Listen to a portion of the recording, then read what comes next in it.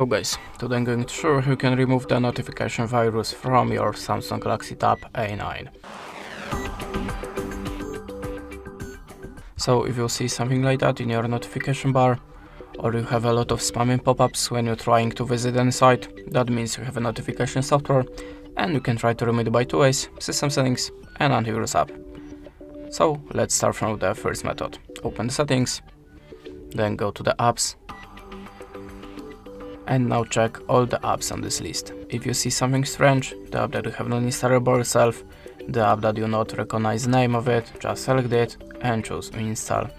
Click on OK and now go back to the app list, then look for your web browser, in my case it's Google Chrome, select the storage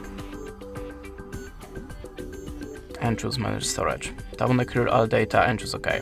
After that your web browser should be free from notification software. But you can also try to download antivirus app, so go to the Play Store and look for the best antivirus app for you. I'm always using Avast, so let's let's launch this app. In this one, click on the Get Started and Skip. Choose the Continue. And close the ads. Choose Continue with ads again, tap on the green circle and click on OK. Now we have to add a permission to the files by clicking the switcher next to Avast. Then go back, the scanning process starting automatically and after that your tablet shall be free from any unwanted software that you have. And this is the way how you can do it. Thanks for the watching, leave us a like or a comment and goodbye.